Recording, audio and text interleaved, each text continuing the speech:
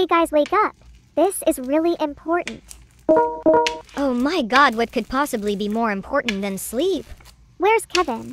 I don't know and I don't care. So tell us this emergency. Yeah, babe, it's 3:20 in the morning. What's up? There's someone in my house. Well, call 911 instead of waking us up at 2.30 in the foo morning. Help. What in the world? Where did she go?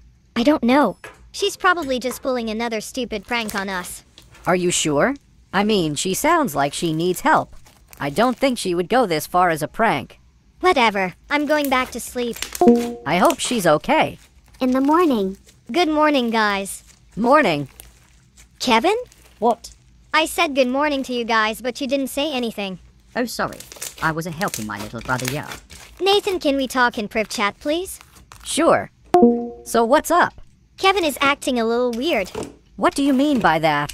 Like he is stuttering, and when I said good morning, he didn't say anything. Plus, the other day I asked if he has any siblings, and he said no. Wait, that's actually a little suspicious. I know, right? Also, I've noticed where's Julia?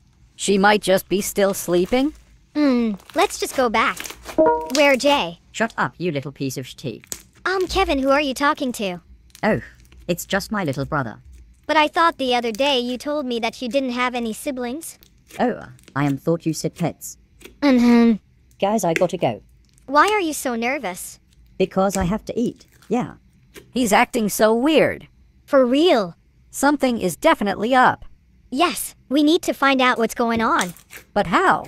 Itk. Maybe we can spy on him? Yeah, good idea.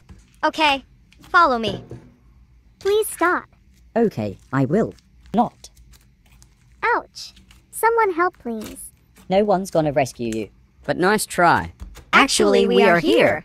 Guys, how long have you been there for? That's none of your business. Now, how old are you? Like 30? No, I am 39. Ugh, that's worse. Excuse me. You know what? No, I. Say bye to life. Ouch. Come on, babe. Let's get out of here. Let's go.